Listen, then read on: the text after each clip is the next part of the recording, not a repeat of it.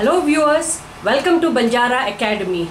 I am now going to introduce you to a person whom you may have seen on many uh, YouTube videos, on our website and also on many FB live shows. This person whom I am going to introduce you to is a mentor, a guide, um, TEDx speaker, a counselor, a life skills coach and he is our own Dr. Ali Khwaja. He is the chairman, founder and leader of Banjara Academy. Ali, do you want to tell a hi?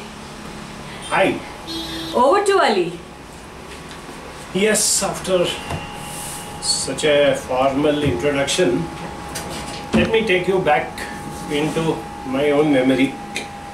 I must have been all of 10 11 years old when uh, my elder sister's friends used to come to me and talk about their boyfriends and how they are chasing them and running behind on the cycle and waiting at their bus stop for hours. And I used to wonder, haven't these guys got anything better to do rather than playing cricket? Why are they running behind girls? So what I would do is I would keep quiet. I had to pay respect, no elder sisters, friends. I used to just keep my mouth shut. And they used to go on and on and on talking. And that became a habit. I spent five years in IIT Bombay. I didn't say I studied there, but anyway. So when I was there, some time I used to spend in my studies or classes or whatever it is, but a lot of time used to be when people used to keep talking to me. Not only students, sometimes even the professors used to come and uh, start talking to me. You know, when you're doing that spectroscopic analysis of aluminium, and when I told the HOD, he said this, and I'm so upset about that. What do I know about it? So I used to keep quiet. It went on and on. Even after I finished my studies, I got into some project work, consultancy, and things like that, I realized that people go on and on and on talking to me. And why are they talking to me? What can I do for uh, them and things like that? And I used to keep quiet. Years later, I learned, right from the great uh, Reverend Chad Varah, who founded the Befrienders International, or the Good Samaritans, I came to know that empathic listening is all that it needs to give emotional support to people. That was a aha moment. Okay, so I slowly got into this. When I started, you know, the counseling center, offering free counseling, people would be coming, people would be calling up and things like that. We started training up the volunteers. Of course, volunteers were giving us free service, so we were conducting the course free of cost. But at some point, people came and said, I heard that you teach people these basic concepts of counseling, listening, understanding people, and reaching out to people, and things like that. I also want to learn, but I can't be a volunteer, I've got other commitments. Fine, somebody told me, why don't you charge money from them for the training? And that money can be used for our free counseling. Wow, fantastic. So we started doing that. We started with a one week program, then a 10 days program, then a six weeks program, then a three month program. In the year 1999, we decided to give it a formal shape because we realized if you really want to be thoroughly grained and trained into counseling, you should have an extended period, not a few weeks. So we came out with the one year program. We have completed 21 batches of that. Then came the next step. People said, I don't live in Bangalore, but I want to learn counseling. Initially, I was a little resistant. I said, no. Counseling is something that you know you have to learn face to face. You have to say it. You have to watch the expressions of people. You have to understand what is going through. You have to, you know, be in emotional touch with them. How can you do that when the person is not even available uh, to you? So how can I train people to do that when they are sitting in some other city or even some other country? How do I train? I said no. For a long time I resisted. Then I realized that there are so many genuine people who actually want to pick up these basic skills of uh, you know counseling. But for various reasons, they do not have the option of going somewhere, enrolling themselves, and going through a particular course. So we took up the challenge. Thankfully, by the time technology had improved, so we could do a lot of things which were not possible 10 or 20 years earlier. So we started this. Now here I want to emphasize or you know clear one absolutely one thing. You may have heard people talking about their programs or courses and all that and saying we are affiliated to so and so, we are recognized by so and so, you will get a degree from such and such university. I very proudly and at the same time very humbly tell people we are not recognized by any government or public body. We are not affiliated to anyone. People say, hey, why are you making such a big show out of it and uh, declaring that? I'll tell you the reason. We believe that interacting with human beings, reaching out to human beings, understanding them, and giving them that little emotional support, that solace, which empowers the person to move on in life regardless of what situation the person is facing. For that, you don't need theory.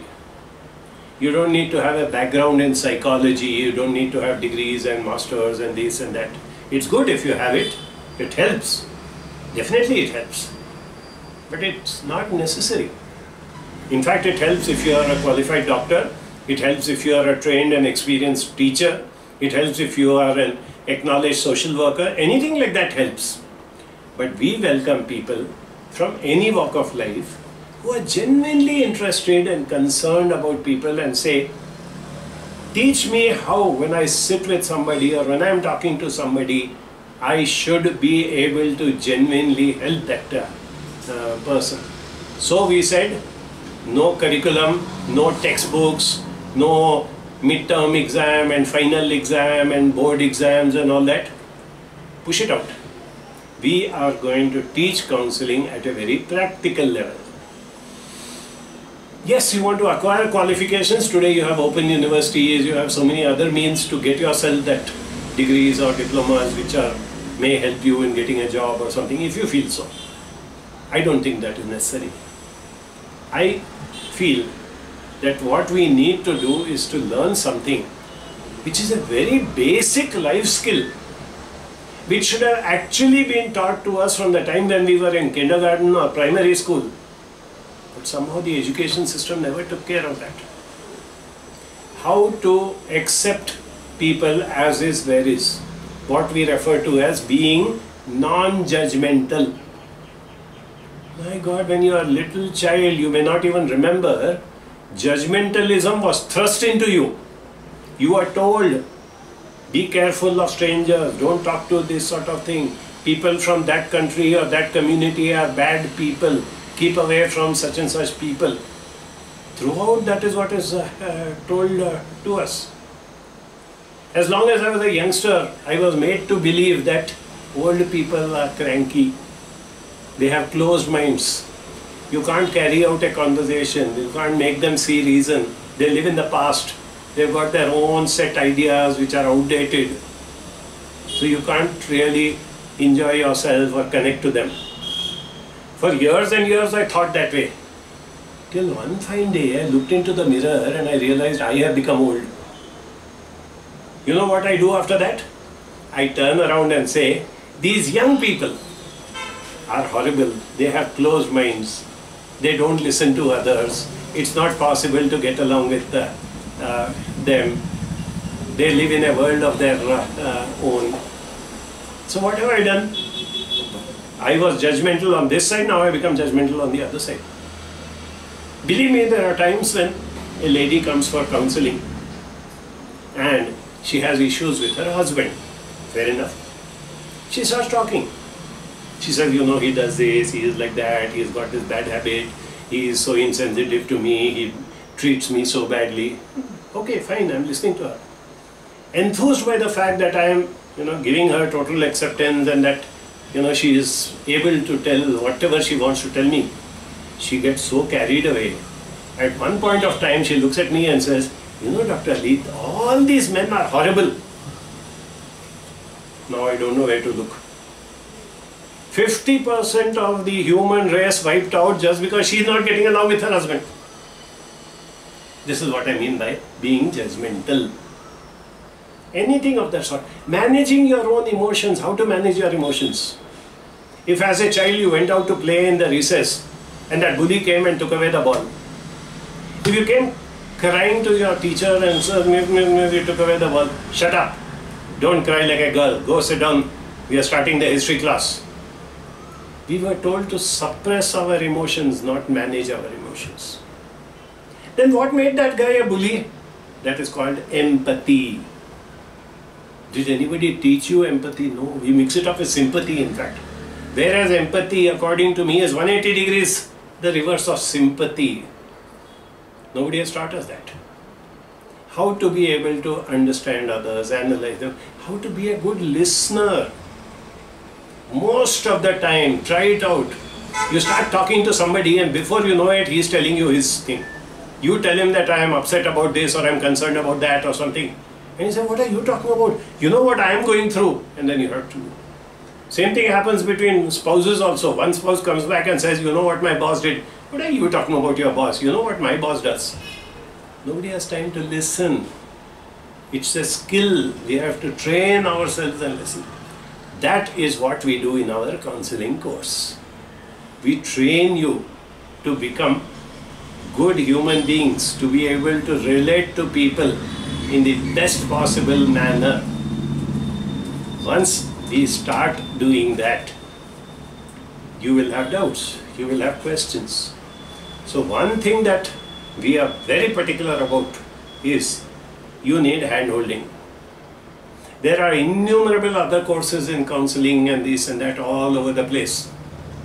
You have to take the lesson and you are left high and dry, you do whatever you want. No.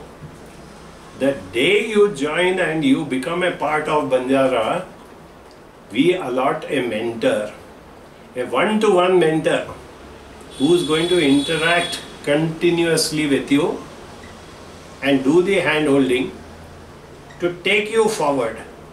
Not a judge or a examiner or something of that sort, no. Yes, where you are going wrong, where you are not coming up to the standard, the mentor will prod you.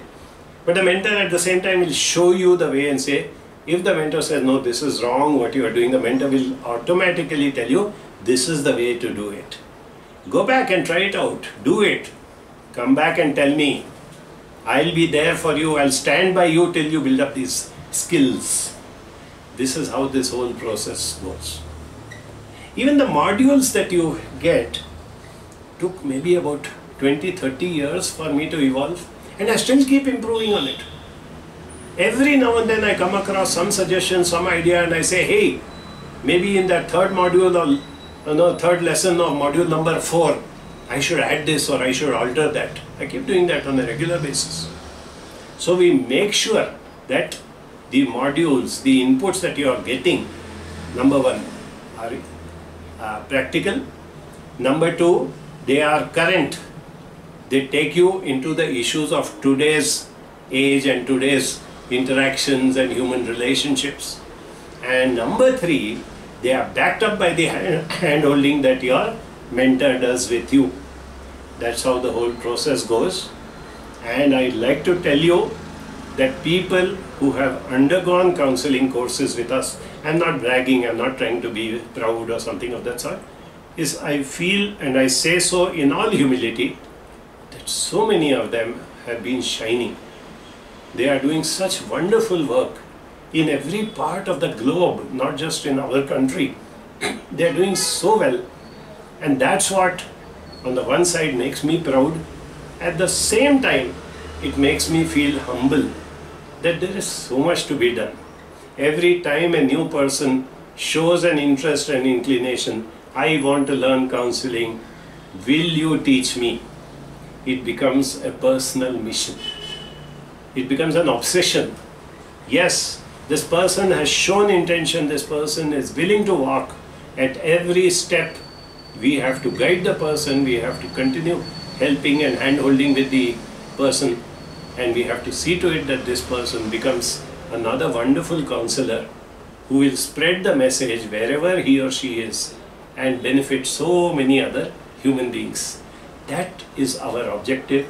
This is what we have been doing for the last 30 35 years and we'll continue doing as long as we have the energy and all the resources available. But beyond that, I am expecting you to carry on the mission far beyond our lives and maybe the life of Banjara. I would expect you to take up this mantle and keep spreading the word. That is the greatest gift that you will be giving us, and that is the greatest gift you will be giving to yourself.